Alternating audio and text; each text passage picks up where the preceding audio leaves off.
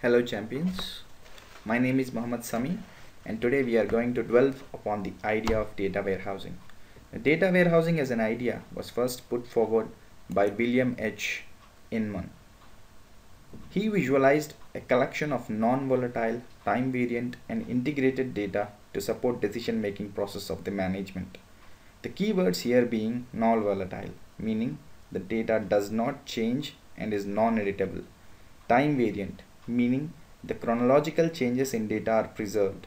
And integrated, meaning the data is combined from various heterogeneous sources.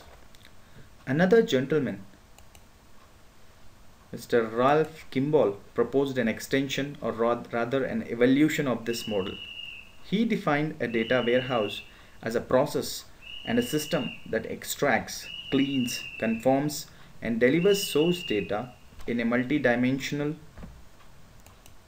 form to aid the purpose of decision making. So, to sum it up, Inmon defined the properties of a data warehouse, whereas Kimball defined its structure and architecture. Now before proceeding to discuss what each of these gentlemen are talking about, let us first try and understand a few basic, basic terms. The first of them being data. data. It is the fuel that runs an enterprise. It is consumed and produced at every step of a business process. For example, registering a user on a social networking site creates data. The activities of that user then continuously consume and produce data Similarly, an enterprise creates and consumes enormous amounts of data. Now such huge amounts of data production poses a great challenge for storing and retrieval of data for business processes as well as for analytics. Such a scenario created the need for a database and a management system of that database. To put it together, a database management system. Now initial days saw data storage in text files that made life pretty unhappy for users and storage for users as the storage and retrieval of files or from files was a daunting task. Now this fueled the evolution of database management systems. Mainframes on one axis and relational database management systems on another systems you could say Oracle, SQL Server, DB2, MySQL and so on. To continue discussing about the relational database management system, let, let us meet the second term that we need to understand, the table. The basic philosophy of all relational database management systems was the storage of data in a two-dimensional structure with rows and columns. A row being a collection of related data elements that belong with each other functionally and a column being a collection of data elements that are technically similar but do not belong together functionally.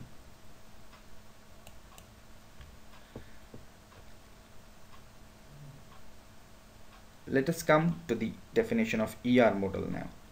Once the data storage problem was solved by arranging elements in a table, optimization started with the sole objective of reducing redundancy in data and increasing storage and retrieval performance, thus giving birth to the ER model.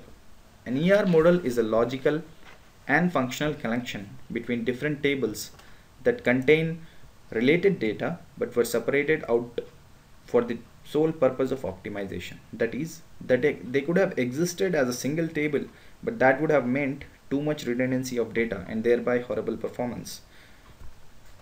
To know more about the ER model, entity relationship model and optimizations, read normalization, normal forms and denormal denormalization concepts.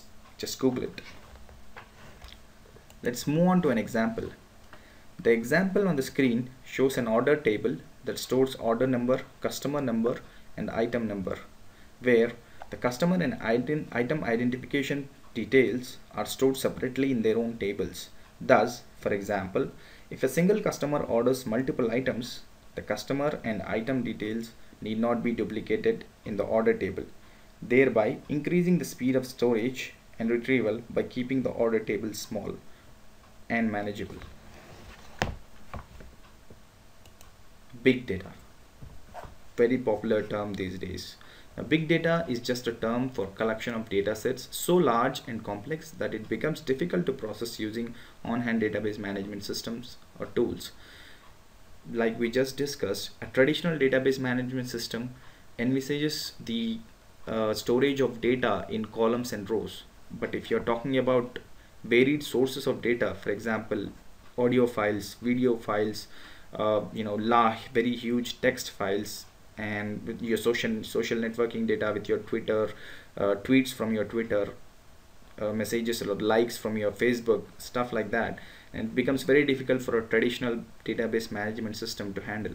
Now, big data like i said comes in various formats and it accumulates at tremendous speeds and and continuously keeps growing. And the growth is not just multiple it's exponential. Now big data is again like i said characterized by three v's the volume the velocity at which it is produced and the variety of data now having discussed that we don't need to dwell too much upon big data at this stage so we're just going to skip ahead data warehousing ah now that was our topic wasn't it it is the craft of organizing and storing data in a way so as to make its retrieval efficient and insightful. Interesting, isn't it?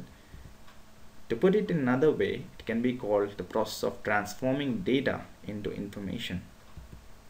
Data warehousing is like a relational database that is designed for analytical needs rather than for transactional needs. We'll read about that and we'll understand that in a while.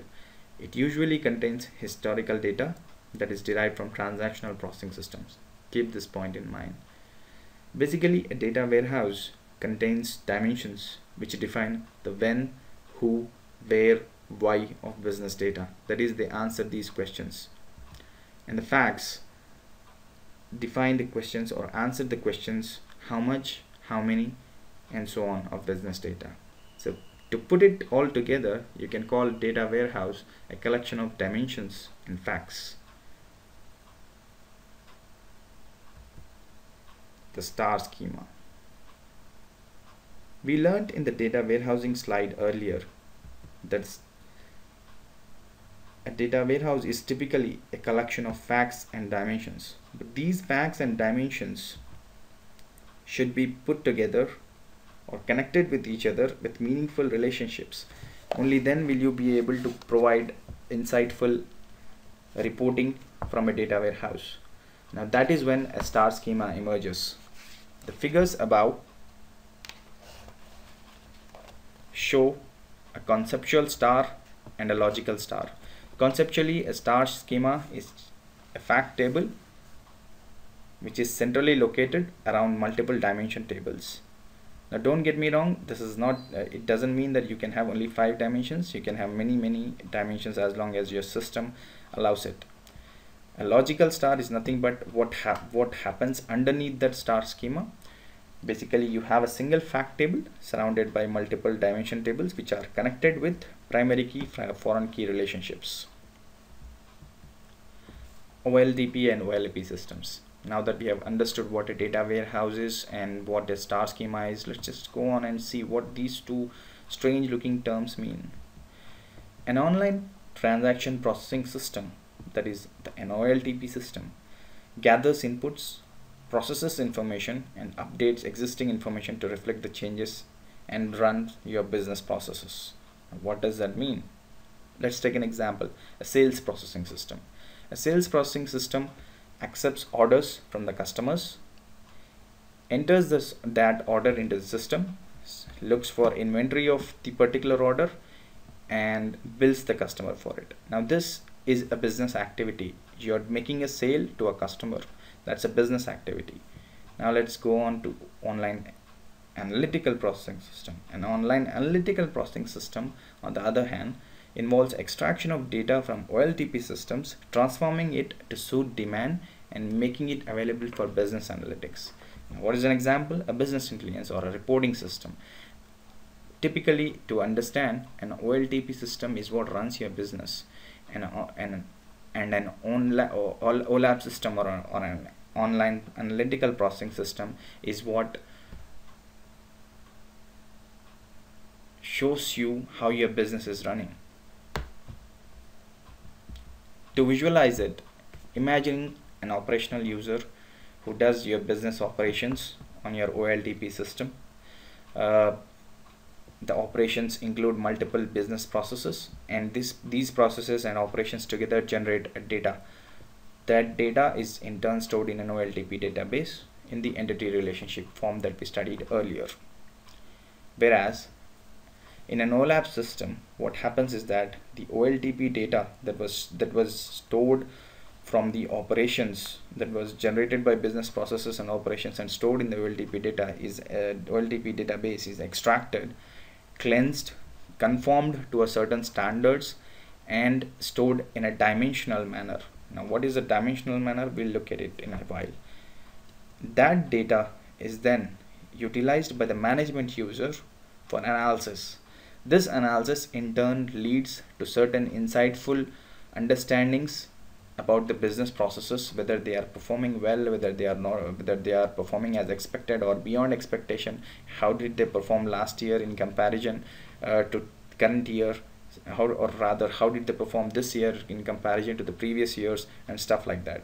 Now this kind of insight allows you to create or allows you to make some business decisions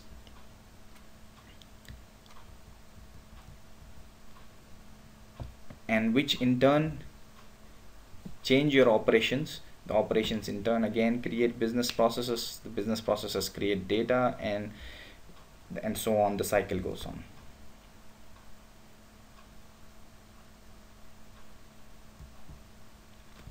Now before we go let's just discuss about the cube. What is a cube? A cube is a manifestation of the star schema in the data warehousing terminology in the data warehousing world in the data warehousing jargon a cube is always a manifestation of a star schema.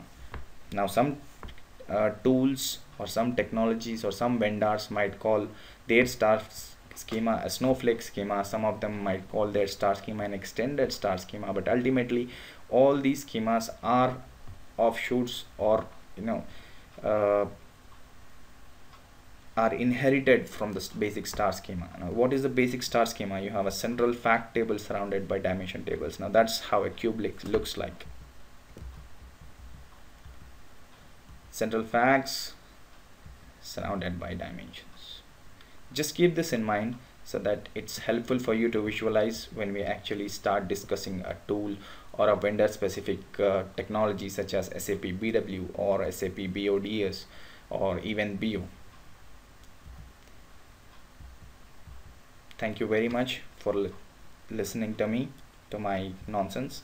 And if you have any queries or if you want to contact me for uh, the purpose of purposes of training and uh, training in SAP BW SAP uh, BO SAP BODS that is business objects data services which is SAP's own ETL tool uh, now own in fact acquired earlier you can contact me on samihassan dot md at gmail.com thank you very much. See you again